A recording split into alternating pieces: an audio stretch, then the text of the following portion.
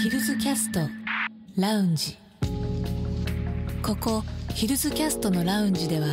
東京を面白くするアイデアを持った人たちをお迎えしています。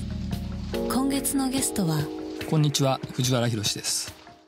レコーディングも楽しい時もあれば打ち込みとかいろいろやってもらってんのを待つ時間とかがあったりしてなかなか思うように進まないですけどライブはもうそこでしかないんで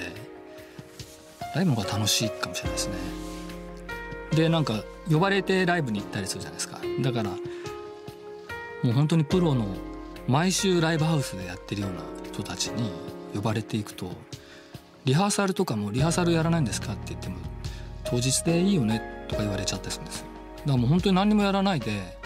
コード譜だけ渡し渡されて人前でやるっていうのもミュージシャンってこんなんなんだと思いながらやってんですけどそれが割とうまくいったりするんですよね。そういうのが楽しいですね。最初はすごい不安でしかも僕なんかまあここ1年ぐらい前に始めたみたいなもんじゃないですか。そういうライブみたいなことって。大丈夫かなと思ってやるんですけどなんかすごくいいあうんの呼吸みたいなのができる時もあるしもちろん失敗する時もあるんですけどそれはそれでそのライブ感として楽しいですね。でも感謝してます。曽我部君やヨーキングとか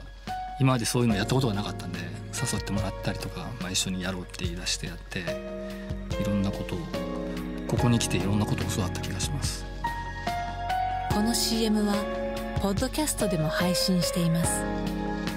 また読めるラジオのページもご用意しています。森ビルのウェブサイトヒルズキャストへどうぞ。東京をもっと楽しみませんか？森ビルです。